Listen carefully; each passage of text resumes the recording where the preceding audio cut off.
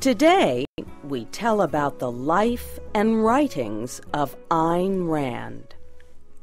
Although she died more than 25 years ago, many Americans still argue about Ayn Rand. More than 20 million copies of her books have been sold around the world. Many people say her books are written poorly but people still buy hundreds of thousands of copies of them each year. People also continue to talk about her ideas and her interesting life. In 1905, Elissa Rosenbaum was born in the Russian city of St. Petersburg. As a young child, Elissa loved books. She began to write her own stories when she was only seven years old. When the Russian Revolution began in 1917, the Rosenbaum family fled to the Russian state of Crimea. This experience was important in Elissa's life. It started her hatred of collectivism. Collectivism is the system of ownership and control of the means of production by the people collectively, usually under the supervision of a government. After the revolution, Elissa returned to St. Petersburg, now called Petrograd, to attend college. She took classes in politics, history, law, and writing. In 1926, she traveled to the United States to visit family members. Soon after she arrived in the United States, Elissa decided she would never leave. She also decided to change her name to Ayn Rand. She said Rand was taken from the Russian alphabet spelling of Rosenbaum. She said she chose Ayn after the name of a writer from Finland. Newly named, Rand moved to Hollywood, California to work in the movie business. She met and married actor Frank O'Connor in 1929. Throughout the 1930s, O'Connor acted and Rand wrote. She published two books during these years, but did not earn much critical or popular recognition. Then, in 1943, Rand's famous book, The Fountainhead, was published. It took her seven years to write the novel. Twelve publishers rejected the book. However, a man named Archibald Ogden loved the story and convinced the Bobbs-Merrill Company to publish it. The Fountainhead became a huge success around the world. It has sold more than six million copies.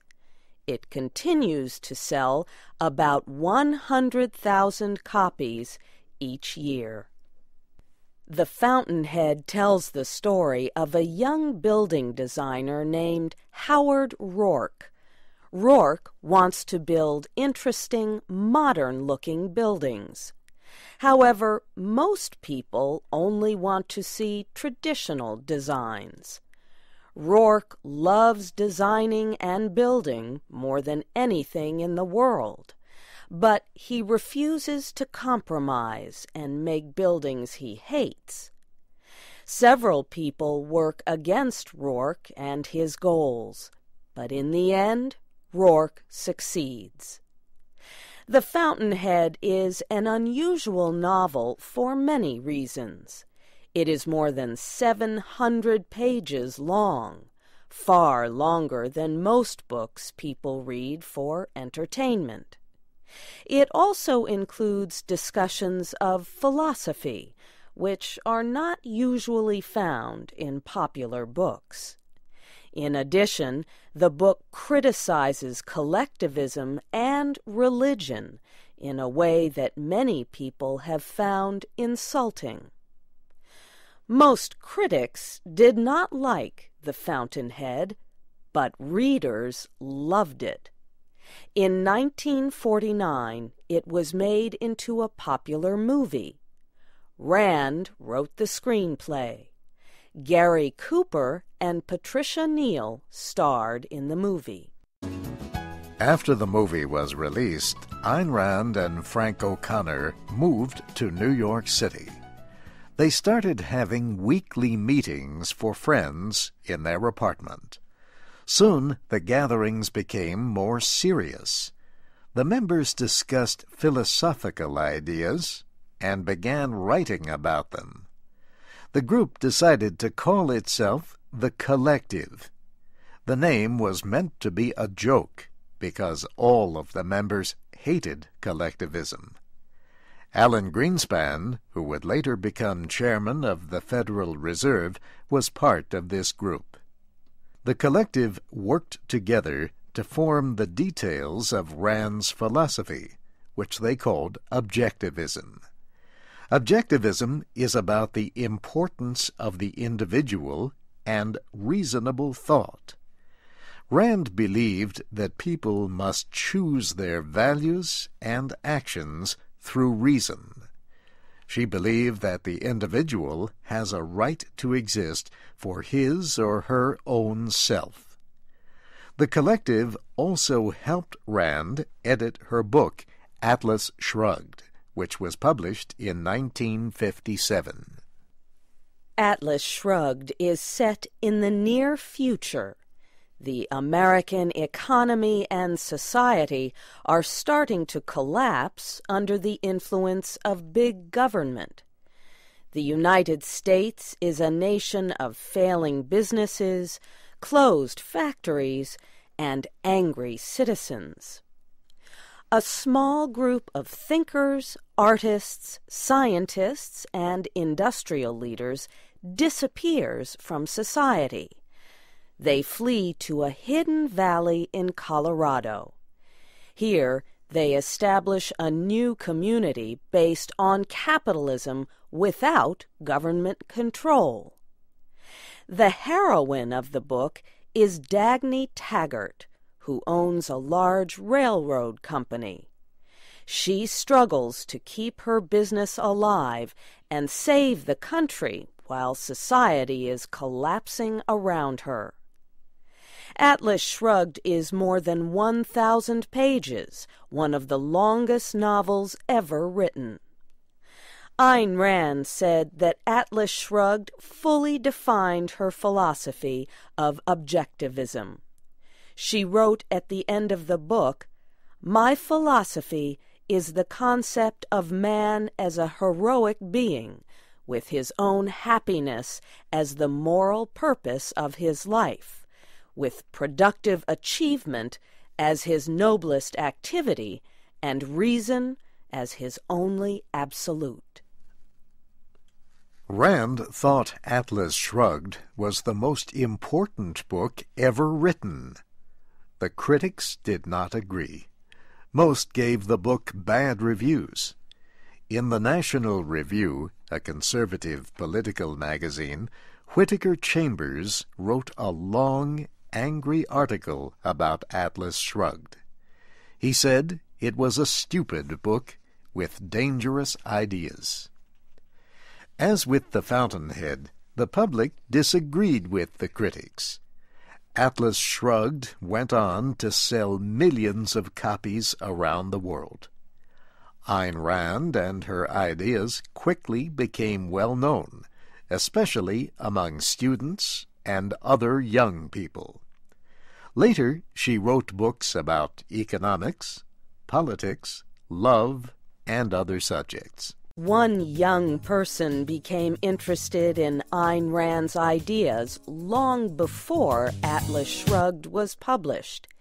His name was Nathaniel Branden. After reading The Fountainhead, he wrote a letter to Rand he wrote that he wanted to discuss the relationship between psychology and Rand's ideas. Branden and his wife Barbara soon became friends with Rand and joined the collective. Rand and Branden began to have a sexual relationship, even though they were married to other people. They called themselves the experts on all of the ideas of objectivism. They wrote many papers and made speeches all over the United States. However, some people criticized the objectivists and their followers. They said people honored Rand and Branden as if they were religious leaders without ever questioning their beliefs. Rand rejected this criticism. She wrote that a blind follower is what my philosophy condemns and what I reject. Objectivism is not a mystic cult. Things changed in 1968 when Rand discovered Branden having a sexual relationship with a younger student. Rand became very angry and forced Branden to leave the objectivists and never speak to her again. After the end of her relationship with Branden, Ayn Rand's life slowed down. She lived quietly in New York City until she died in 1982. At her funeral, one of her followers left a gift. It was a two meter tall flower arrangement in the shape of a dollar sign. This gift was meant to represent Rand's ideas about capitalism as the most moral economic system. Ayn Rand's books continue to be extremely popular. Atlas Shrugged has been named in several opinion studies as one of the best and most influential books of the 20th century. Reports from Hollywood, California say that several actors, writers, and producers are working on a movie version of Atlas Shrugged. However, many people are still opposed to Ayn Rand's books and ideas. More than 100 years after her birth, Ayn Rand's books, thoughts, and actions continue to be important to many people. She is still one of the most loved and hated American thinkers.